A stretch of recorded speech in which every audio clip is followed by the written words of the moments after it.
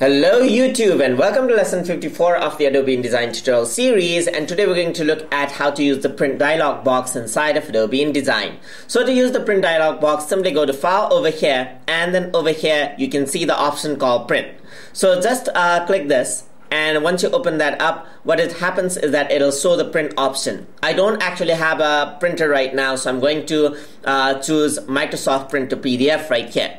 So on the general section you can see that you can uh, choose the number of copies right here. So you can choose number of two copies or three copies on the number of copies you want to create and you can also do collate so that it actually uh, will print side by side or uh, choose reverse order if you want uh, to paste page number three first. So you can even choose the uh, page um, number of pages right here. Right now the page is all you can set the range of the pages and the current page as well over here you can also choose uh, to print only even pages or only odd pages if you want to stack them up together later. So you can set it up uh, set, set up the paper size right here uh, that you want to print on. You can set the mar uh, marks and bleeds over here you can set the output into RGB or CMYK if you have a printer connected to uh, um, connected to your computer then you'll have CMYK as an option because that is what uh, printer colors are.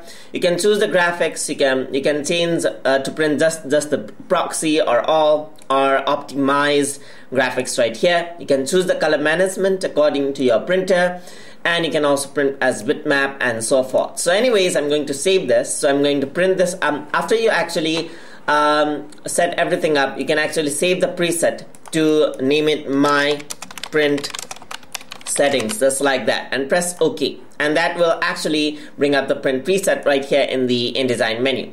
So right now I've set the printer to print uh, to PDF. So I'm gonna press print and over here it'll print it up on my desktop right here. So I'm gonna uh, say this is my test file.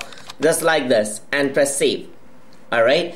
And once I do that it'll actually save the work to my uh, desktop right here. This is the test file.pdf so if I were to open that out uh, you can actually see that it actually printed out the file just like that. So there's the first page right here, second page, and third page. And if you've got a, got a printer, it'll actually print out on your printer right there.